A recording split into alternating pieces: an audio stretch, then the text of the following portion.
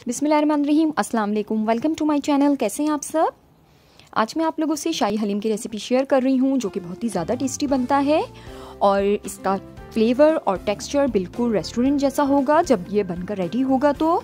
और अगर ये रेसिपी आप लोग को पसंद आए तो काइंडली लाइक शेयर कमेंट ज़रूर कीजिएगा और चैनल को सब्सक्राइब कीजिएगा। तो चलते हैं अब हम रेसिपी की तरफ़। शाही हलीम बनाने के लिए हमें जिन चीज़ों की ज़रूरत पड़ेगी, इसे आप लोग पहले नोट डाउन कर लीजिए। तो हम शाही हलीम बनाने के लिए हाफ़ के जी होल ग्रेन्स लेंगे, इन्हें अच्छी तरह वॉश करेंगे और फिर हम इन्हें पानी में सोक कर लेंगे। हाफ़ टी स्पून मीठे सोडे के साथ तकरीबन दो से ढाई घंटे तक के लिए इसे रखना है। सोक कर कर इसके अलावा half K G boneless beef लेंगे। बीफ की जगह आप लोग मटन या चिकन भी ले सकते हैं। बीफ के पीसीस बड़े रखने हैं।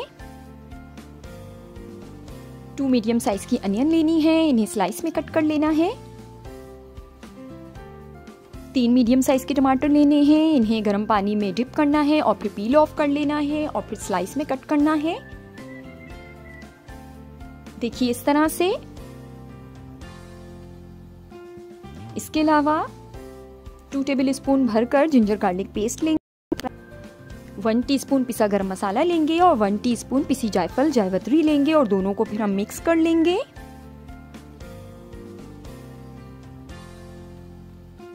तो ये तो हो गए पिसा गरम मसाला और जायफल जायवत्री। इसके अलावा हम तेज पत्ते लेंगे चार।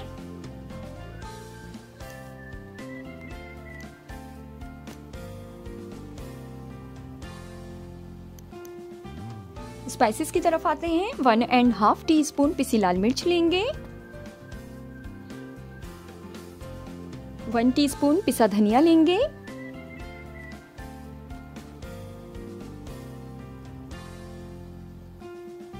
वन टीस्पून हल्दी है।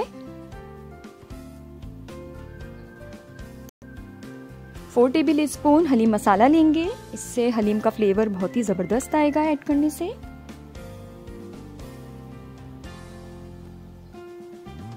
और वन टीस्पून सॉल्ट लेंगे।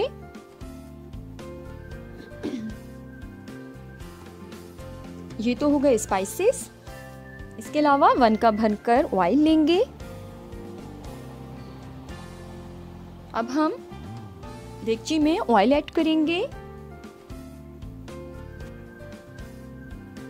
और साथ ही इसमें हम प्याज ऐड कर देंगे।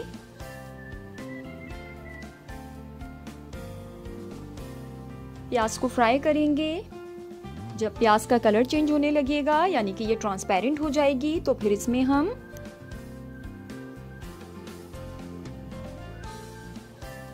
देखिए, प्याज ट्रांसपेरेंट हो गई है तो फिर अब हम इसमें गोश्त ऐड कर देंगे। गोश्त ऐड करने के बाद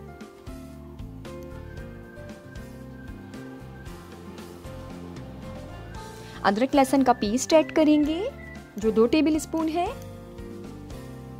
दोनों को मिक्स करेंगे, गोश्त और अदरक, लहसुन के पेस्ट को अच्छी तरह से। फिर उसके बाद हम इसमें टमाटर ऐड कर देंगे। टमाटर ऐड करने के बाद स्पाइसेस ऐड करेंगे, पिसा धनिया, हल्दी, पिसी लाल मिर्च हलीम मसाला।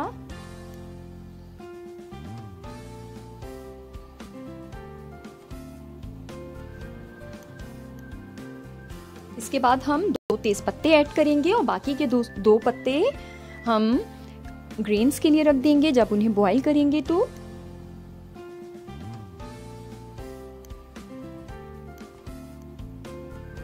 और अब हम पिसा गरम मसाला ऐड करेंगे, जो हमने स्पेशल किस्म का बनाया है। डेढ़ टी स्पून यानी कि one and half teaspoon बाकी के गरम मसाले को हम आखिरी में यूज़ करेंगे लास्ट में। गरम मसाला ऐड करने के बाद मसाले को खूब अच्छे से भूनेंगे। देखिए इस तरह से मसाला खूब अच्छे से भुन रहा है हमारा।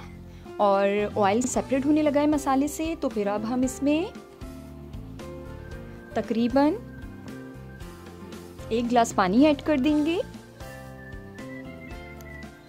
और फिर हम पानी ऐड करने के बाद लिड लगा देंगे और फिर स्लो फ्लेम पर इसको पकने के लिए रख देंगे तकरीबन एक से डेढ़ घंटे के लिए। अब हम अपने ग्रेन्स की तरफ़ आते हैं। ग्रेन्स को हमने बॉईल करने के लिए रख दिया है। इसमें तकरीबन टू लीटर पानी ऐड किया है। और फिर अब हम हाई फ्लेम में इस वक्त इसको बॉईल कर रहे हैं। देखिए बॉईल हो रहा है ग्रेन तो इसके ऊपर जो इम्प्योरिटीज़ जमा हो गई हैं, हम इसे डिस्कार्ड करेंगे।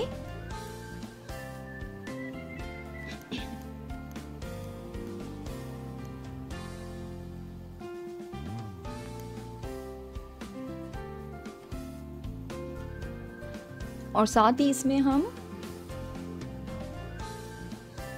क्वार्टर टी स्पून मीठा सोडा ऐड कर देंगे मिक्स करेंगे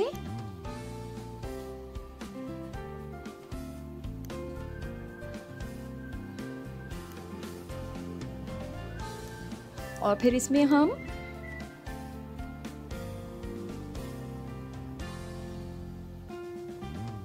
वन टीस्पून सॉल्ट ऐड कर देंगे ग्रेन्स में सॉल्ट अलग से ऐड करना है वन टीस्पून और कौरमे का सॉल्ट अलग था जो हमने कौरमे में ऐड किया है। अब हम फ्लेम लो कर देंगे बिल्कुल स्लो कर देंगे और लिड लगा देंगे और तकरीबन डेढ़ से दो घंटे के लिए हम अनाज को उबलने के लिए रख देंगे पकाने के लिए और साथ ही इसमें हम दो ते, तेज़ पत्ते भी ऐड कर देंगे। देखिए दो से ढाई घंटे गुजर चुके हैं बिल्कुल स्लो फ्लेम पर हमारा ग्रेन पक रहा था कुक हो रहा था। तो अब ये ज़बरदस्त सा कुक हो चुका है। तमाम दालें, गेहूँ और जौ तकरीबन सभी गल चुके हैं ज़बरदस्त से। आप लोग देख सकते हैं, हमने फ्लेम जो है वो ऑफ़ कर दी है और इसको एक तरफ़ रख दिया है साइड में। अब हम कौरमे की तरफ़ चलते हैं तो हमारा कौरमा भी तकरीबन रेडी है, इसे हम भूनेंगे। गोश्त गल चुका है। बहुत ही ज़बरदस्त से खुशबू भी आ रही है साथ ही।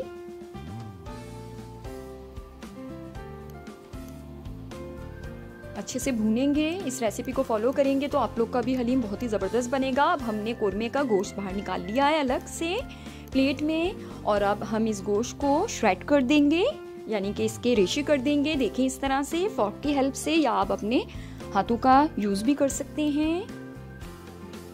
और फिर अगेन हम ये गोश्त कौरमे में ऐड कर देंगे, मसाले में, और मिक्स कर लेंगे। और साथ ही हम, जो हमने अनाज उबाल के रखा है ग्रेन उबाल के रखा है, वो भी हम इसमें ऐड कर देंगे। और अच्छे से मिक्स करेंगे।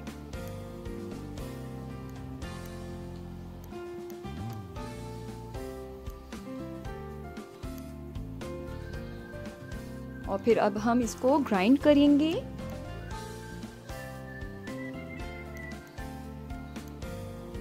मैं हैंड ग्राइंडर का यूज़ कर रही हूँ।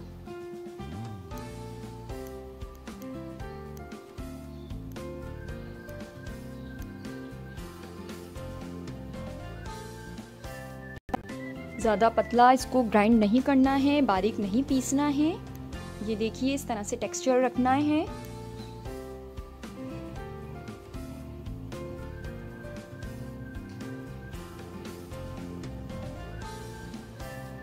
तो अब ये हलीम ग्राइंड हो चुका है और अब हमने इसको चूल्हे पे रख दिया है फ्लेम ऑन कर दी है और इसमें हमने हाफ़ कप पानी ऐड किया है और साथ ही जो पिसावा गरम मसाला हमारा बच गया था, वो भी ऐड करेंगे हम इसमें। तकरीबन हाफ़ टी स्पून है ये और फ्लेम को हम हाई कर देंगे जब इसमें बबल्स आने लगेंगे।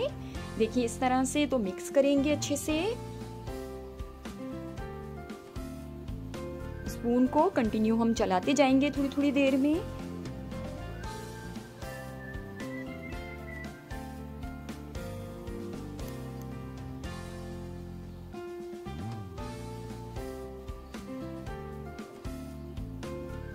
थोड़ा पानी और ऐड करेंगे तो अब हमने तकरीबन पौन कप पानी इसमें ऐड कर लिया है, वन थर्ड कप, और अच्छे से मिक्स करेंगे। बहुत ही ज़बरदस्त सा हलीम हमारा तकरीबन रेडी होने वाला है। देखिए बबल्स से बन रहे हैं। इस फ्लेम अभी भी हाई है। जब इस तरह से बबल्स बनने लगेंगे तो हम फ्लेम को बिल्कुल स्लो कर देंगे और फिर इसको दम पर रख देंगे तकरीबन हाफ़ आवर के लिए। तो हाफ़ आवर गुजर चुके हैं।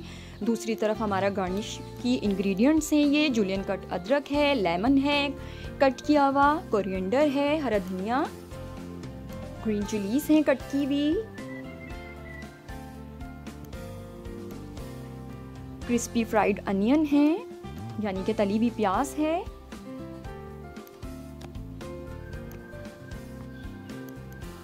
ये देखिए क्रिस्पी फ्राइड अनियन की रेसिपी मेरे चैनल में मौजूद है, आप लोग देख सकते हैं इसकी रेसिपी भी।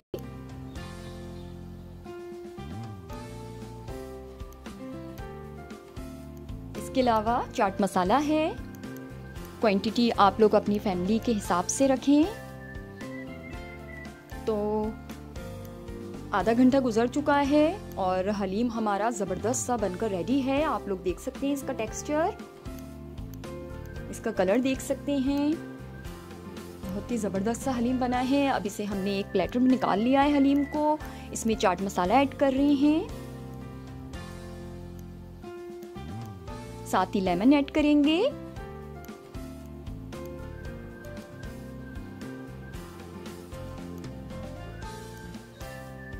ग्रीन चिली सेट करेंगे।